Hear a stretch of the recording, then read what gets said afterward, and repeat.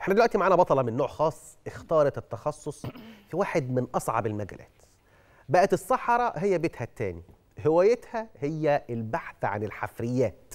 كشفت غموض وأسرار من التاريخ ربما من ملايين السنين اللي فاتت. يمكن ده اللي وصلها إنها تكون من بين أبرز المكرمات من سيادة الرئيس عبد الفتاح السيسي امبارح.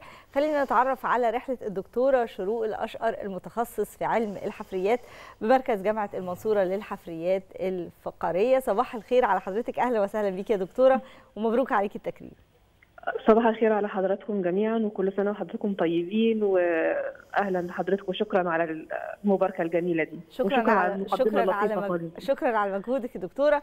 خلينا نبتدي مع البداية بقى. إزاي ابتدت الرحلة مع هذا التخصص؟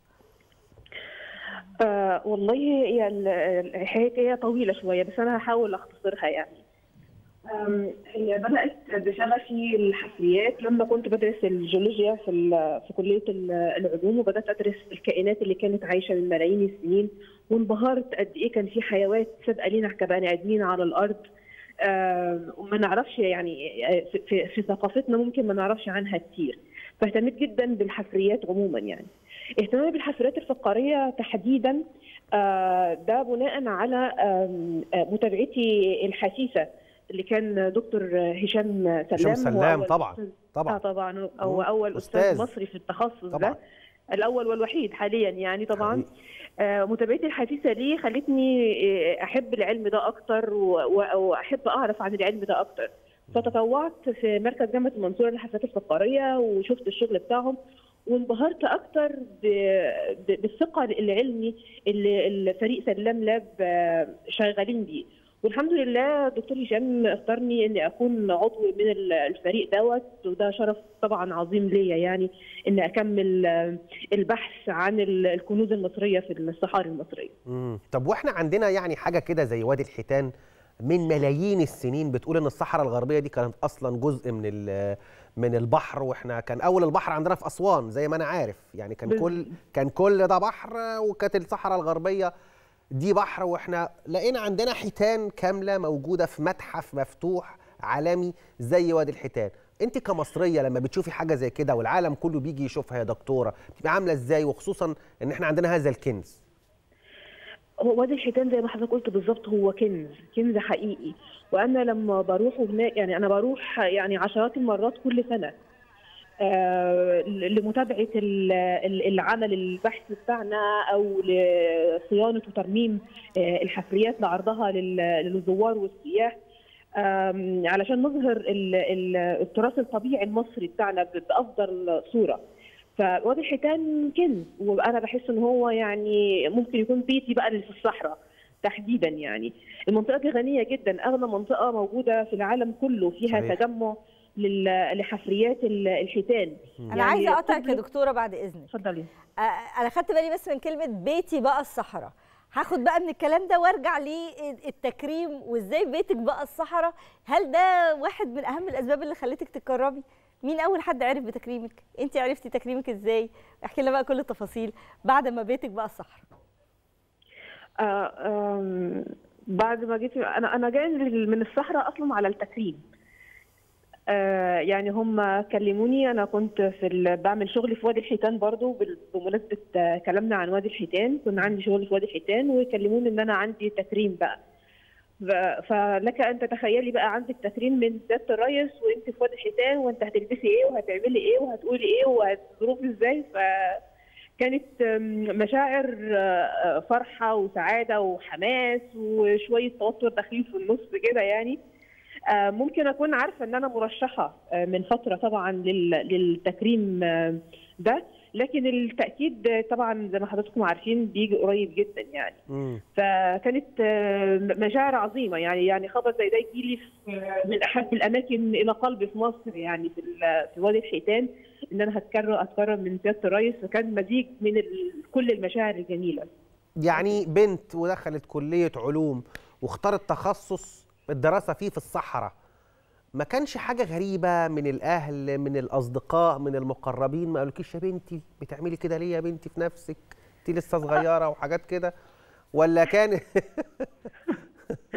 أيوه أيوه طبعا هو مش طبيعي ابدا إن يبقى في ستات في مصر يشتغلوا في الحفلات الفقرية. لكن صح. في جيل قبلي أنا يعتبر الجيل الثاني يعني قبلي.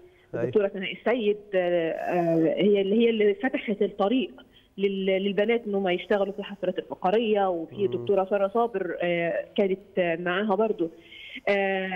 أنا بقى كوني بقى أم كمان يعني مش مش امرأة مصرية بتعمل في الصحراء. أنا امرأة مصرية وأم لبنتين تعمل في الصحراء. فالموضوع كان غريب. صعب جدا. بعض الشيء على على المجتمع. أيوه وحاجة ظريفة خالص يا أستاذ عمرو. أنا مصطفى بس مش أنا آسفة جدا يا أستاذ مصطفى آسفة جدا يا استاذه منى واستاذ لا. مصطفى آسفة جدا. لا خالص. ده إحنا سعداء بوجودك اتفضلي. اتفضلي. آه، آه، حاجة غريبة جدا مثلا إحنا شغلنا بنقول إحنا رايحين رحلة.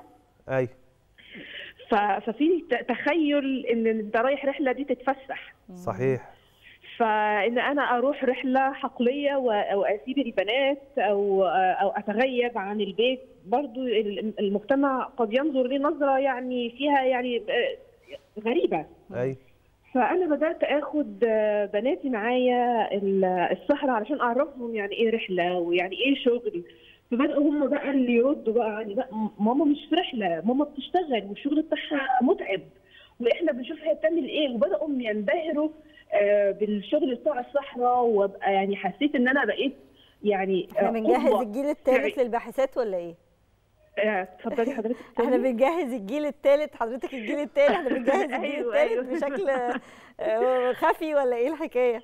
لا هو أنا أحب يعني يا طبعا يعني أنا مسؤولة عن تربية آه، بنات أو مسؤولة عن تربية أطفال أحب أكون قدوة ليهم إن. هم يشوفوا نموذج آه، جيد ليهم طبعاً، لما. أقرب الأقربين ليا يشوفوا نموذج حي قدامهم يحبوا إن هم يقلدوه في الحاجات ال- الكويسة هقدر أوسع صحيح. النموذج دوت للاناث المصرية عموما والمرأة المصرية في مصر طيب أكيد ليكي حلم معين يا دكتورة في مجال الحفريات ومجال الجيولوجيا تقدري تقولي إن في مشروع شغاله عليه بتحلمي إنك تعملي ريكورد فيه لمصر للمرأة المصرية لجامعة المنصورة؟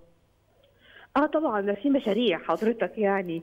هو يعني أحلام غير منتهية. يعني الصحراء دايما بتجود آه، بما فيها من خبايا ومن أسرار وإحنا يا دوب بس إحنا علينا تفسير الخبايا والأسرار دي. فانا طبعا عندي شغف ونهم رهيب جدا للمعرفة أكثر والمزيد أكثر وعمل أبحاث علمية آه، ذات ثقل علمي في الوسط العلمي أكثر وإن يكون مكتوب في الابلكيشن بتاعي آه، إيجيبت يعني آه، شروق الأشقر أو الأشقر ايتال من مصر. دي ده بالنسبة لي كفيلة بكل معاني الفخر يعني والامتنان برضو لل- للبلد. أكيد. دكتورة شروق يعني لما الشغف يتلاقى مع الشغل أو الشغف يتلاقى مع الوظيفة.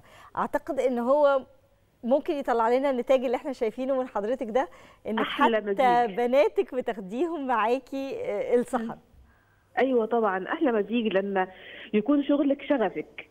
مهما تعبتي ومهما حسيت إن أنت مرهقة ومهما كنت حسيت إن أنت لحظات اليأس اللي بتيجي على كتير مننا في الشغل بعد كده النجاح بقى والدأب والاستمرار والسعي والجهد ده بيتوج في الآخر بنجاح ملموس لما تلمسي النجاح اللي انت تعبت علشانه دوت ده أفضل شعور في الدنيا على الإطلاق. ولما النجاح اللي انت عملتيه أو حضرتك عملته يتوج بتكريم رفيع المستوى من آه، السيد الرئيس وحرمه آه، ده بقى يعني يعني بيحسني أكتر على السعي والاستمرار واداني حماس ودعم آه، إن أنا أستمر وأكمل وأعمل أفضل من اللي أنا عملته. أكيد. أقدم حاجة مسكتيها عمرها كام مليون سنة يا دكتورة شروق؟ أقدم حاجة مسكتها كانت عمرها حوالي 375 مليون سنة. آه أنا فاكر 45 ده- 46 إيه الكلام ده؟ الفترة دي كانت ال- الحياة على الأرض ما كانش في أرض أصلا يعني كانت الحياة في المية. دي في مصر؟ آه، في في مصر أيوة طبعا. آه، كائنات بحرية أسماك آه، كانت عايشة في الفترة دي في مصر. أنت قلتي كام مليون؟ 350 أك- مليون؟ 300 آه، 375 مليون سنة. دي دي, دي كانت إيه؟ قطعة إيه بالظبط؟ دي سنة سمكة. سنة سمكة. واتلاقت سن فين؟ السمكة وفي بعض طبعا ال- الحفريات الأخرى من الرفقاريات برضو أعمار قديمة قوي كده موجودة في مصر عندنا. أها. دي مسكتيها فين يعني أو شفتيها فين قصدي؟ آه، في مركز جامعة المنصورة للحفريات الفقارية ده أحد الرحلات آه، عثرنا عليها يعني. مهم. إحنا بنتكلم في ملايين السنين. يعني أنا ممكن التخصص بتاعي أنا شغالة في عمر حديث شوية بالنسبة للجيولوجيين. يعني أنا جاية في الآخر كده أنا بشتغل على أعمار آه، 30 مليون سنة أو 37 مليون سنة. فده بالنسبة للعمر الجيولوجي صغير شوية يعني. دكتورة شروق آه، ال- العالمة في مجال الجيولوجيا آه، الأم في نفس الوقت اللي بنتين اللي بتقدر توازن ما بين قعدتها في الصحراء وما بين البنات. البنات وصلوا لسن دراسة الجيولوجيا ولا لسه؟ آه لا لسه ما خدوش. بس بدأوا ياخدوا بعض في المناهج عندهم. حضرتك بتسالي عن بناتي صح؟ مش سامعاكي عذرا؟ حضرتك السؤال لو سمحتي تاني من فضلك. آه أنا بقول لك البنات وصلوا لعمر دراسة الجيولوجيا ولا لأ؟ آه، بعد ما قعدوا في الصحراء بقى وبعد ما ابتدوا يشوفوا اللي بيحصل فعلا. آه لأ هم لسه ما درسوش جيولوجيا بس في المناهج ال- بتاعتهم موجود فيها المحميات آه، الطبيعية وتعريف الحفريات والحفريات المصرية. فهم بقى لما بيفتحوا الكتب عندهم ويشوفوا وادي الحيتان إيه إحنا كنا هنا. ملعبهم بقى ملعبهم أيوه مش عارفة إيه ويقول المدرسين عندهم إحنا بنروح هنا مع ماما وإحنا بنشتغل في المكان دوت فبقوا فخورين بنفسهم واللي هم بيعملوه كمان يعني. فده بيقرب الأم للعالمه للمتابعة مع الشغف أعتقد إن ده بيعمل لك الميكس اللي انت بتوصلي له أو. المزيج طيب أيوة. دكتورة شروق الدكتور هشام سلام بالفعل عامل طفرة في المجال ده. واسم عالمي في قصة الحفريات آه، آه، نقدر نقول هشام سلام عالميا وصل لفين؟ آه، آه، الدكتور هشام سلام بيعتبر من حضرتك هو اول أستاذ مصري في تخصص الحفرات الفقاريه ده على مستوى مصر إنما على المستوى العالمي معروف مين دكتور هشام سلام اللي هو باني أول مدرسة مصرية للحفريات الفقاريه في مصر وقد إيه دكتور هشام سلام بيبقى قادر على مش بس عمل science أو نشر science عادي ده نشر science في في مجلات prestigious قوي. يعني أعلى المجلات آه، العلمية زي ال Nature وده هو المقياس مقياس المجتمع العلمي لأي scientist هو النشر بتاعه. فنشر دكتور هشام سلام آه، يعني عنده آه، ثقل كبير جدا إن أي عالم آخر في أي دولة أخرى يبص للعالم دوت باحترام ويقدر المجهود والشغل اللي بيعمله. بعد التكريم آه، ده هيبقى داعم للبنات إنها ما تخافش تدخل التخصص وتجمد قلبها وتروح تقعد في الصحراء. مش لازم في وادي الحيتان إحنا عندنا أماكن تانية كتير. ولا. لسه البنات هتقول خليني قاعدة برضو آه، وتدي برضو في مكانها. إحنا مش لازم نخرج الصحراء عشان ندي بس يعني أنا بتكلم في الباب ده هل ده هيدعم أكتر وهيحمس آه، أكتر؟ أعتقد كانت لفتة جميلة جدا في آه، تمثيل العلوم في محفل وطني زي يوم المرأة امبارح. كانت حاجة كويسة جدا. طبعا هيدعم ال ال ال ال الاهتمام آه، بالعلوم أكتر واهتمام الإناث بالعلوم أكتر. بس أنا أحب كل واحدة تبقى نفسها. و- وتدور يعني أ- أنا مش عايزة أستخدم كلمة شغف بسهولة. يعني صحيح.